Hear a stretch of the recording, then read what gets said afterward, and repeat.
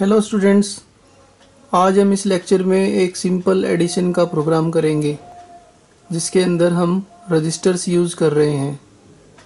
तो इस simple addition के प्रोग्राम्स में हम असेंबली लैंग्वेज के बारे में कुछ इंस्ट्रक्शंस डिस्कस करेंगे। उनके बाइट्स के बारे में देखेंगे कि वो कितने कितने बाइट की इंस्ट्रक्शंस हैं। उनकी एड्रेसिंग मोड के बारे में देखेंगे। और सिमुलेटर को यूज़ करते हुए हम प्रोग्राम काउंटर और इसके जनरल पर्पज़ रजिस्टर्स एकमुलेटर्स और इसके फ्लैग्स और इसकी प्रोग्राम मेमोरी को यहाँ पे एनालाइज करेंगे हम इस सिमुलेटर के अंदर। तो सबसे पहले हम इस प्रोग्राम को, जो सिमुलेटर में हमने राइट किया हुआ है, इस प्रोग्राम को देखेंगे और देखते हैं कि एक बार हमारे जनरल पर्पज़ रजिस्टर्स हमारे कौन कौन से होते हैं। 8085 माइक्रो प्रोसेसर के अंदर। पहले भी डिस्कस किया था हमने, एक बार फिर से डिस्कस करते हैं। B, C, D, E, H और एल। तो ये हमारे क्या हैं? Six general purpose registers. ये कितने बाइट के हैं? सारे वन वन बाइट के हैं तो इन रजिस्टर्स में हम वन बाइट का डाटा स्टोर कर सकते हैं या रिट्रीव कर सकते हैं। जनरल पर्पज़ के लिए इनको यूज़ किया जाता है। और हमारे पास क्या है? रजिस्टर ए ये क्या होता है? एकुमुलेटर इसका मेन ऑपरेशन क्या होता है? मेन फ़ंक्शन क्या होता है? जो भी रिज़ल्ट हमारा ए में आता है after the execution of arithmetic and logical operation वो हमें एकुमुलेटर में शो होता है। तो इस सिमुलेटर के अंदर अगर हम ध्यान से देखें तो ये आपका रजिस्टर ए है। यहाँ पे B C D E H और एल तो अगर हमारे पास 16 बिट का डाटा हमें स्टोर कराना है तो हम क्या है? पेयर यूज़ करते हैं। B C pair D E pair और एच एल पेयर तो ये हमारे सिक्स जनरल पर्पज़ रजिस्टर्स हैं, जो कि एट बिट के हैं। एकोमुलेटर भी 8 बिट का है। अगर हमसे पूछे कि हमारे पास 16 बिट के रजिस्टर्स कितने हैं और कौन कौन से हैं तो यहाँ पे देख रहे हैं स्टैक पॉइंटर और प्रोग्राम काउंटर तो हमारे पास क्या है? स्टैक पॉइंटर और प्रोग्राम काउंटर ये हमारे कितने बिट के हैं? 16 बिट के हैं। ये दोनों ही हमारे रजिस्टर्स हैं, जो कि इनका डिफरेंट डिफरेंट जॉब है। इस प्रोग्राम में आज हम प्रोग्राम काउंटर का वर्किंग एनालाइज करेंगे कि प्रोग्राम काउंटर कैसे अपडेट होता है। उससे पहले हम प्रोग्राम पे आ जाते हैं। तो प्रोग्राम हमारा क्या है? सिंपल एडिशन यूजिंग रजिस्टर्स तो यहाँ पे हम देख रहे हैं कि यहाँ पे कुछ मेमोरी लोकेशंस यहाँ पे शो हो रही हैं। 1000 एच और नोटिस करेंगे कि प्रोग्राम काउंटर में स्टार्टिंग में हमारा 1000 है। इसका मतलब कि जो भी प्रोग्राम हमारा राइट होगा, वो इस लोकेशन पे राइट होगा। जैसे ही कंपाइल करेंगे तो सारा प्रोग्राम लोड होगा। 1000 से शुरू होगा स्टोर होना, क्योंकि प्रोग्राम काउंटर में 1000 हमने यहाँ पे ले रखा है। तो प्रोग्राम काउंटर हमें ये बताता है इनिशियली कि हमारा प्रोग्राम कहाँ से स्टार्ट होगा एग्जीक्यूट होना और लोड होना। तो प्रोग्राम काउंटर का भी देखेंगे। तो सबसे पहले हम देखते हैं प्रोग्राम तो प्रोग्राम में हमारा पहली इंस्ट्रक्शन है M V I A comma fifty H तो सबसे पहले तो हम बात करते हैं कि ये जो लैंग्वेज है, यहाँ पर जो हमने यूज़ की है, ये लैंग्वेज ये हमारी कौन सी लैंग्वेज है?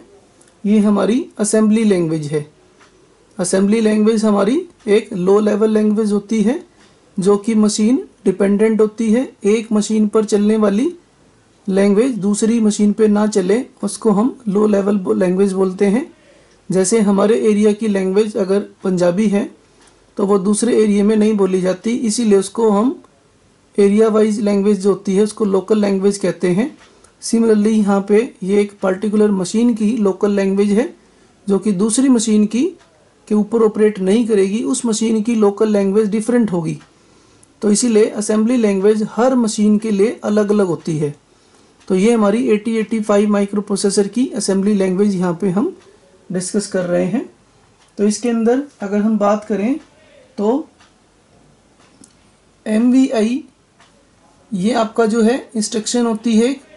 इस इंस्ट्रक्शन में दो पार्ट हैं, ये फ़र्स्ट पार्ट है और ये सेकंड पार्ट है। फ़र्स्ट पार्ट आपको क्या रिप्रेजेंट करता है ये? ऑपरेशन कोड रिप्रेजेंट करता है। ऑपरेशन कोड हमारे बेसिकली मशीन कोड्स होते हैं। मशीन कोड्स जो कि हेक्साडेसिमल में रिप्रेजेंट किए जाते हैं। और यहाँ पर ये second part of the instruction क्या है?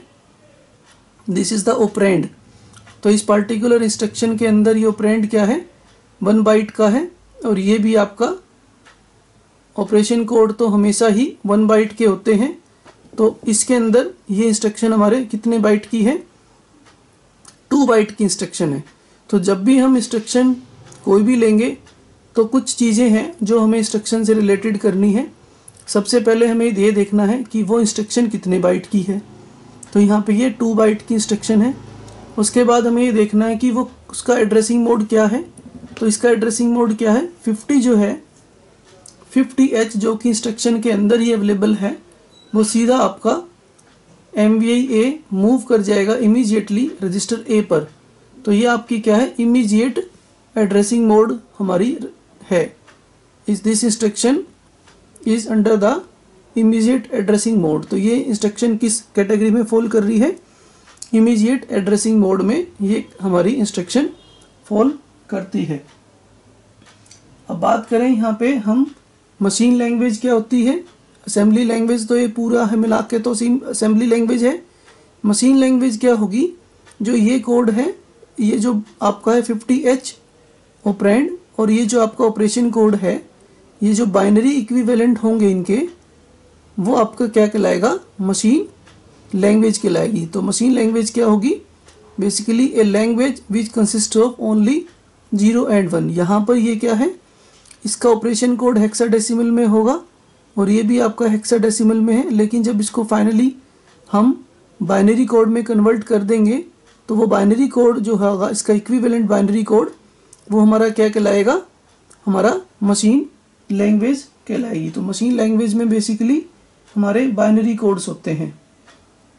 और ये जो ऑपरेशन कोड्स होते हैं एम ए का थ्री ई e होता है ऑपरेशन कोड तो ये आपका ऑपरेशन कोड जो है this is called the machine code उसके बाद निमोनिक्स होते हैं निमोनिक कोड होते हैं जो M V I M V I A this is the mnemonic ये हमारा इंग्लिश लाइक लैंग्वेज है, जो हमारा को यूज़र जिससे समझ सकता है कि ये प्रोग्राम का जो टास्क है, वो क्या टास्क है. तो mnemonic codes basically user identifiable होते हैं, जिससे कि यूज़र इस लैंग्वेज को जान सके, समझ सके। तो it is only for the users not for the machine तो मशीन लैंग्वेज जो है, वो सिस्टम के लिए होती है मशीन के लिए होती है, जिस पे मशीन काम करती है, और निमोनिक कोड जो होते हैं, वो यूज़र के लिए होते हैं। तो हमारी पहली इंस्ट्रक्शन जब एग्जीक्यूट हो जाएगी तो हमारा क्या होगा? 50 जो है ए पर मूव कर जाएगा तो ए में हमें क्या मिलेगा? 50H हमारा मूव हो जाएगा। उसके बाद नेक्स्ट इंस्ट्रक्शन जो है move B comma A move B comma A तो इसमें क्या है? This is the register addressing mode ये भी आपका रजिस्टर है और ये भी रजिस्टर है। और ये क्या है? इसके अंदर जो ऑपरेंड है, वो within the operation code ही है because it is a one byte instruction ये कितने बाइट की है? वन बाइट की है। पहले वाली इंस्ट्रक्शन आपकी क्या है? टू बाइट की है। ये आपकी टू बाइट की इंस्ट्रक्शन थी। ये आपकी वन बाइट की है। इसके अंदर ऑपरेंड नहीं है। केवल ऑपरेशन कोड ही है। और किस कैटेगरी में फॉल करता है ये? रजिस्टर एड्रेसिंग मोड और इसमें इसका टास्क क्या होगा? ए का डाटा बी पर मूव कर जाएगा। रजिस्टर ए में जो भी है, वो रजिस्टर बी पे मूव कर जाएगा। तो बी में प्रेजेंट केस में हमारा 50H है तो बी के अंदर हमारा क्या हो जाएगा? 50H मूव कर जाएगा।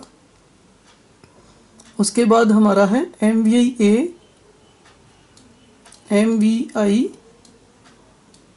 A comma twenty H ये पहले वाली इंस्ट्रक्शन हमने फिर से रिपीट की है with some change of data only data change किया है। तो यहाँ पे ए में दोबारा से री नया डाटा मूव हो जाएगा। दैट इज़ ट्वेंटी एच तो ए के अंदर अब क्या मिल रहे, मिलेगा हमें? नया डाटा लोड हो जाएगा ट्वेंटी एच ये भी सेम वही इंस्ट्रक्शन है। कौन सी है? Immediate addressing mode next instruction is add B add B ये भी, ये आपकी कितने बाइट की शो रही है यहाँ पे? वन वन बाइट की है यहाँ पे।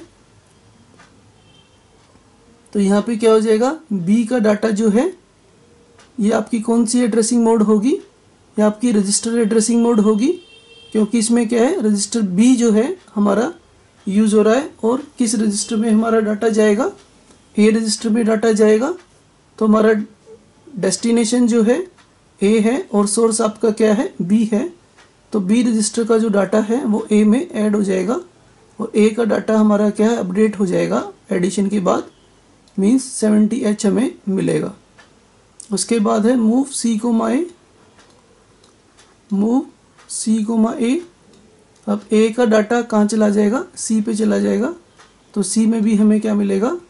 सेवेंटी एच मिलेगा। और लास्ट में क्या है? होल्ट हो जाएगा। होल्ट का मतलब स्टॉप हो जाएगा।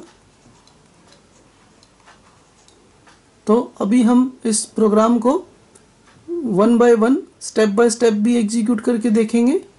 और डायरेक्ट रन भी करेंगे। उस दोनों केसेस में देखेंगे कि हमारा प्रोग्राम काउंटर कैसे चेंजेस होता है और ये हमारे डिफरेंट रजिस्टर्स का डाटा कैसे वेरी करता है।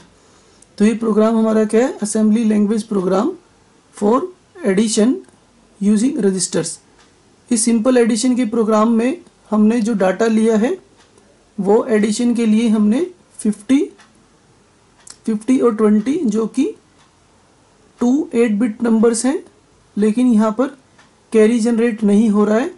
इसीलिए अगर यहाँ पे इस प्रोग्राम में हम कैरी का डाटा लेंगे हायर डाटा लेंगे तो ये प्रोग्राम जो आंसर देगा हमें ए में फाइनल वो हमें रॉन्ग आंसर देगा। तो इसके लिए हमें क्या है कैरी का ऑप्शन लेना होता है बट इस प्रोग्राम में कैरी का ऑप्शन नहीं है। तो नेक्स्ट प्रोग्राम्स में हम उस कैरी को भी इंक्लूड करेंगे कि अगर कैरी जनरेट हो तो हमारा एडिशन कैसे हो। तो अभी हम इसको कंपाइल करते हैं। सबसे पहले सिमुलेटर को रीसेट करेंगे। रीसेट करने से इसके सारे रजिस्टर्स और प्रोग्राम काउंटर सारे रीसेट हो जाएँगे। स्टैक पॉइंटर हमारा सारा जो भी डाटा है वो आपकी आपकी ओरिजिनल डिफ़ॉल्ट पोजीशंस पे चला जाएगा। तो प्रोग्राम काउंटर में यहाँ पर हमारा क्या है? वन थाउज़ेंड ये क्या इंडिकेट करता है? हमारा प्रोग्राम मेमोरी को इंडिकेट करता है।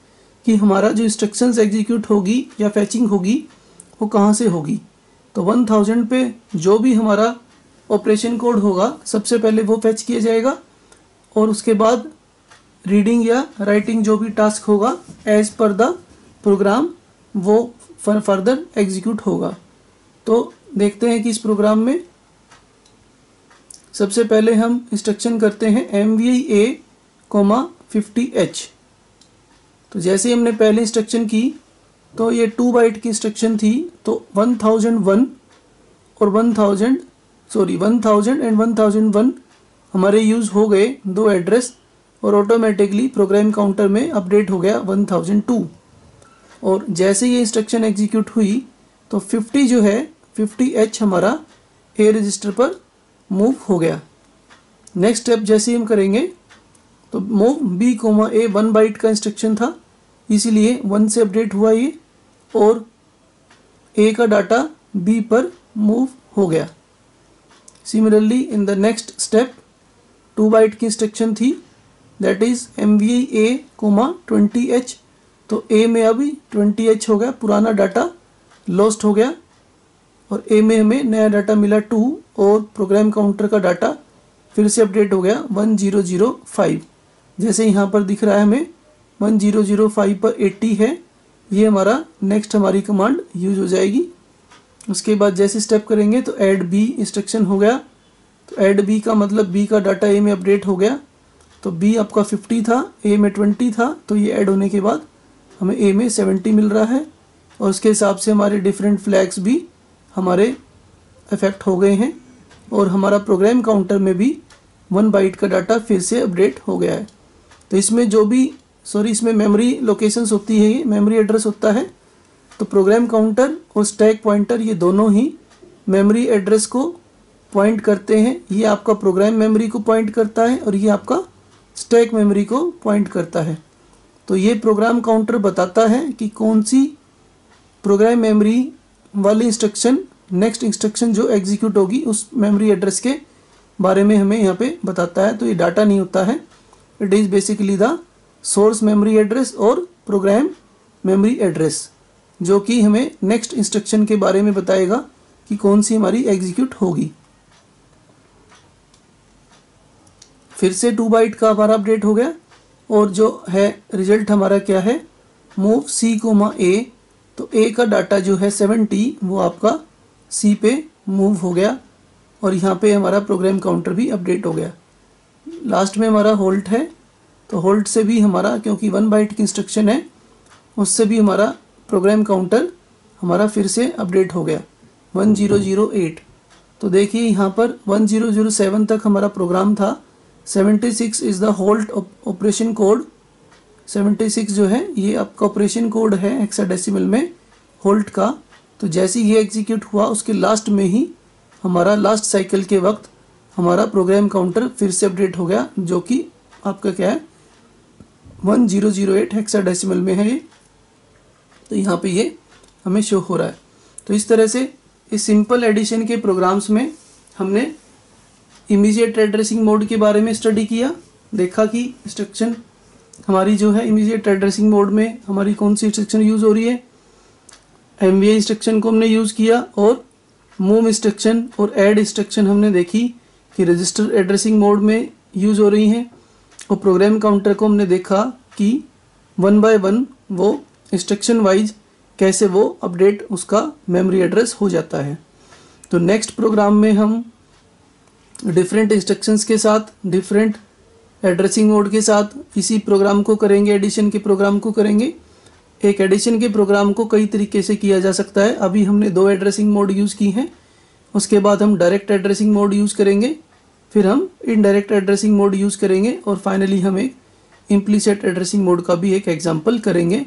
तो इस तरह से हमारे एड्रेसिंग मोड्स कवर हो जाएँगे by using some practical thank you for watching this video